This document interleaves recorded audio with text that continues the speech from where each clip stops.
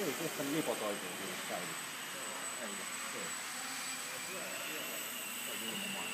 Mä kan pakko vielä 500 000 vaan. On. Minkälaisia vipoja sulla on? Mitä on?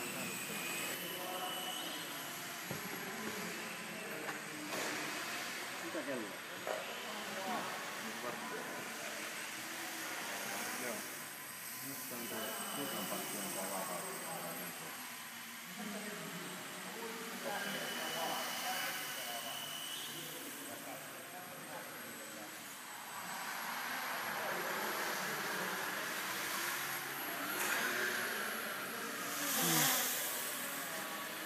Niin, niitä korjauksia. Niin. Joo. Täytyy ajaa vähän sillä niin kuin soutuveneellä souta, että kun nokka rupeaa käy. Joo. Sitten se menee hyvin. Ja sitten tota, tota kompensointia voisi olla vähän vähemmän. Joo. Se on kato tämmöiselle aloittelijalle. Se on, yli, yliohjattua sitä, kun tarvii niin hirveästi. Ja nytkin on sivuperäisin laida. Täytyy odottaa sitä vähän aikaa. joo.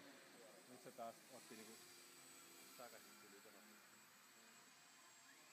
Se muuttaa niitä, siis sitä no, moottorien nopeuksia ihan niinku, siis saman verran, mutta se riippuu, että mitä se muuta tekemässä sillä aikaa. Niin sit se tavallaan sen takia se saattaa se teho hävitä siitä.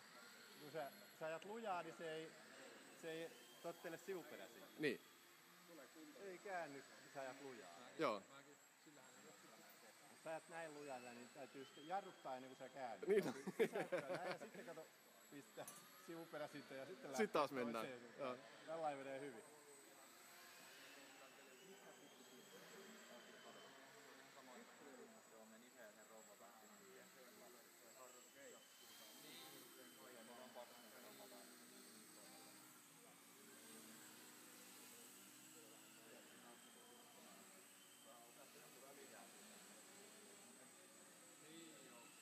Älyttömän hyvä ajaa. Siis ihan, ihan oikeesti. Ajaa, no hyvä.